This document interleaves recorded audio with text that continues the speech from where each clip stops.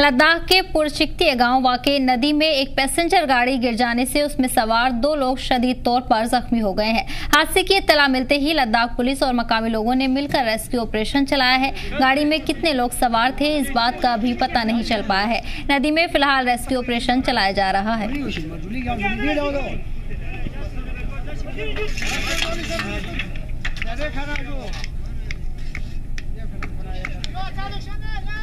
और ज़्यादा जानकारी के साथ हमारे नुमाइंदे फरोज खान जुड़ गए हैं। फरोज, हादसे को लेकर क्या कुछ तफसीलात सामने आ रही हैं? देखिए सदफ ये हादसा अगर मैं बात करूँ, लगभग साढ़े ग्यारह बारह बजे के आसपास ये हादसा जो है पुरसिक से गाँव जो है यहाँ से लगभग पचास किलोमीटर की दूरी पर यहाँ से मौजूद है। तो वहाँ पे ये हादसा पेश आया है और बताया ये जा रहा है कि वहाँ पे जो है कई वक्त से जो है वो काम चल रहा था, रोड वाइडनिंग का काम चल रहा था।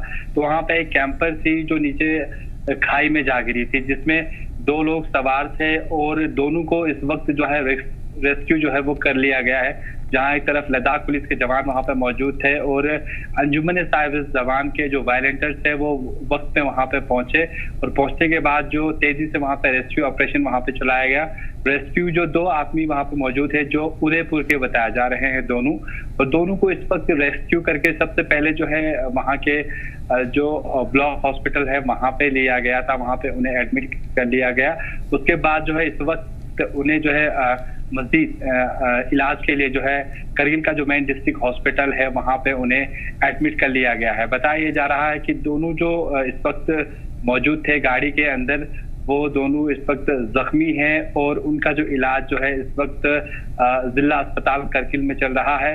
और ये बताया जा रहा है कि ये गाड़ी वहाँ पे अचानक से खाई में जा गिरी क्योंकि साइड में जगह नहीं होने वजह, होने की वजह से अचानक से फिसल के नीचे जा गिरी, जो काफ़ी वक्त बाद जो है लोगों को पता चला। पता लगने के बाद वहाँ के जो स्थानीय जो लोग हैं, वो वहाँ पे पहुँचे वक्त पे और लद्दाख पुलिस के साथ साथ जो वहाँ पे एक बहुत बड़ी इस्लामिक तंजीम है, अंजुमन साहिब जमान उसके जो वॉलेंटियर्स थे वक्त पे वहाँ पे पहुँचे।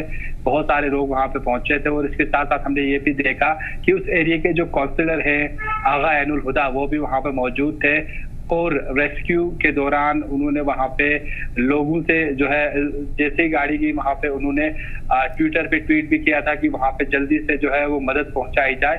तो उसी के बर वक्त हमने देखा कि आ, कई लगभग पंद्रह बीस मिनट बाद जो है वहाँ पे तमाम जो टीमें हैं, जो पुलिस के जवान है और इसके साथ साथ जो अंजुमन साहिब जवान की जो टीम थी, वो वहाँ पे पहुँची और इस वक्त जो है दोनों इस वक्त ठीक हैं और उन्हें जो यहाँ का जो हॉस्पिटल है, स्थानीय हॉस्पिटल, डिस्ट्रिक्ट हॉस्पिटल, वहाँ पे एडमिट कर दिया गया है। उनका इस वक्त इलाज वहाँ पे चल रहा है। जी सदर।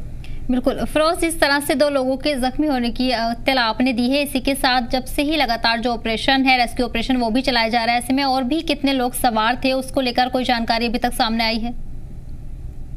देखिए सदफ, अभी तक तो फ़िलहाल ही जो दो लोग थे, जो शदीद जख्मी थे, उन्हें इस वक्त यहाँ पे रेस्क्यू कर लिया गया है। अभी मजीद जो है, वहाँ पे जो रेस्क्यू है, वो वहाँ पे चल रहा है। और जो टीमें हैं, वो इस वक्त एस की टीम भी जो है, वो वहाँ पे पहुँची है। रेस्क्यू जो प्रोसेस है वो इस वक्त कंटिन्यूसली वहाँ पे चल रहा है, क्योंकि ये बताया नहीं जा सकता कि कितने लोग हैं, लेकिन इस वक्त जो है दो लोगों को जो है रेस्क्यू कर लिया गया है, जो जख्मी है, उन्हें डिस्ट्रिक्ट हॉस्पिटल के लिए में जो है, उन्हें एडमिट कर लिया गया है और उनका जो इलाज है, वो यहाँ पे चल रहा है। जिस तरह